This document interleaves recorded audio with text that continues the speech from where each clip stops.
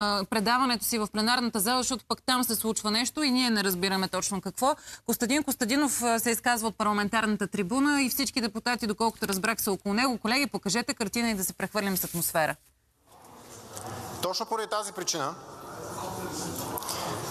ние от ВЪЗРАЖДАНЕ призоваваме всеки един представител тук на свободните български граждани, всеки един представител на демократично мислещите българи да излезе сега с нас тук отпред, пред трибуната, за да покаже ясно и категорично, че ние няма да допуснем никога повече беззаконието и тоталитаризмът да управляват нашата страна. Конституционно мнозинство, което нарушава Конституцията и гази основните закони на страната, което не дава пример, а погазва реда в държавата, няма как и не трябва да бъде по никакъв начин толерирано.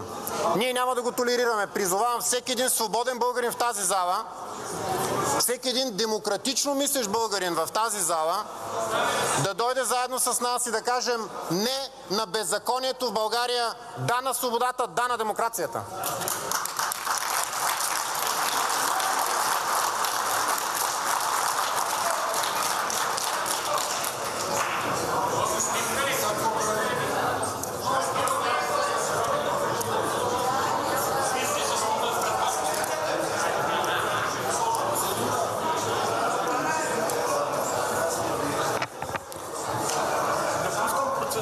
Някой, някой ще обясни ли това какво е хепанинг, перформанс или, или хор някакъв, който ще изпълни някаква песен?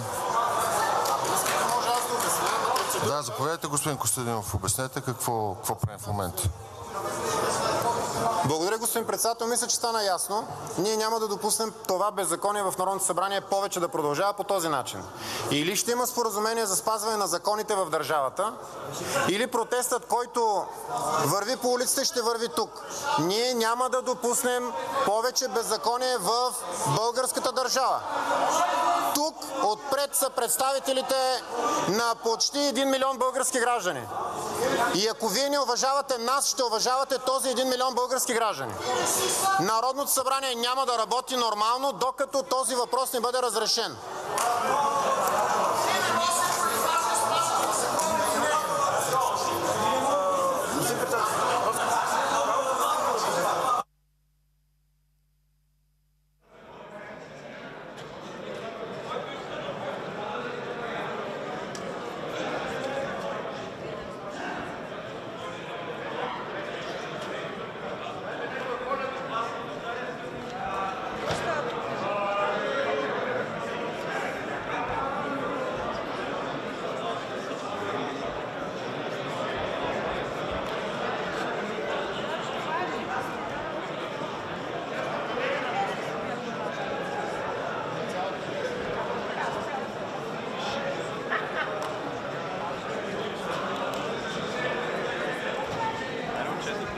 И само да ви кажа, той има такъв народ отпред заради абсолютната бруталност, която извършвате с Конституцията. Заради това.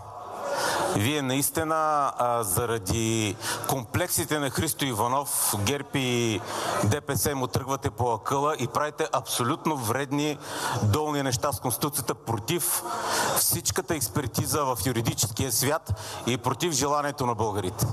И се заслужавате. Не може да сте толкова брутални и да се мислите, че имате, като имате мнозинство, ще правите каквото си искате. Не, не можете. Тук сме равни и този парламент ще работи, ако и ние искаме. Ако не искаме, няма да работи. Не може да вървите срещу всички и трябва да си знаете мястото.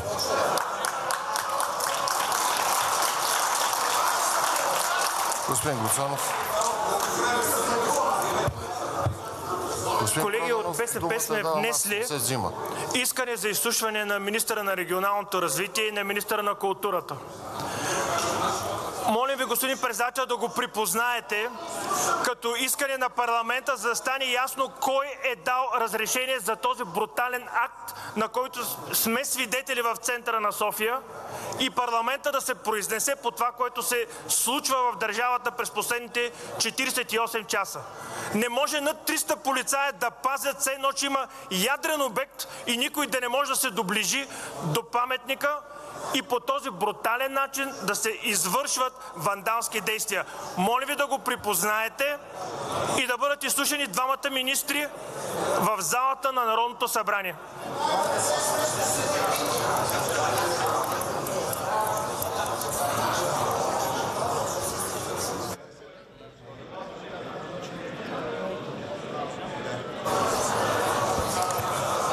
Късвам заседанието. Председателски съвет след 15 минути.